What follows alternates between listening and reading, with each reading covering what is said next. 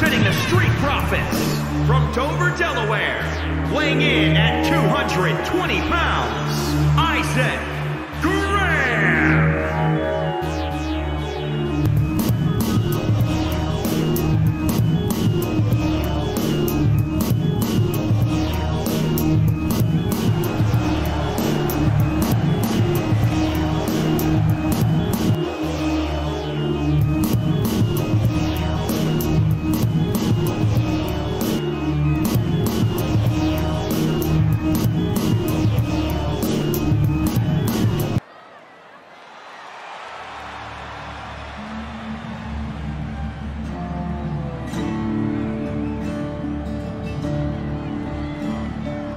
And his opponent from Marieville, Quebec, Canada, weighing in at 175 pounds, Montgomery Fisher.